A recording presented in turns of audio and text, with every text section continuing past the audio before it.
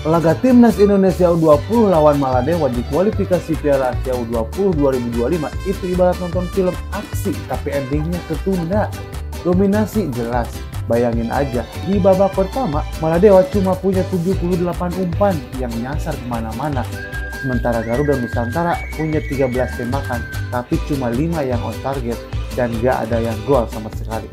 Serangan sayap Indonesia yang mengandalkan Johnny dan Muki sebenarnya sudah ngeri tapi kok ya malah kesandung terus. Bahkan Dan Strapen sudah cutback keren pun hasilnya tetap zong. Babak kedua, nah di sinilah plot twist terjadi. Indra Syafri kayak sutradara film laga, ganti pemain dan langsung gaspol 3 gol dalam waktu 5 menit. Dari Aditya Warman yang menendang dari luar kotak sampai Rapen yang jago nendang bola muntah. Garuda merajalela. Sementara Maladewa cuma bisa bilang aduh lagi dan dia cuma dapatkan satu tembakan saja. Endingnya Indonesia menang 4-0 tapi ya tetap bikin fans gemes. Ayo dong di komen kira-kira lawan Timor Leste bakal ngebantai lagi gak? Ditunggu ya komentarnya.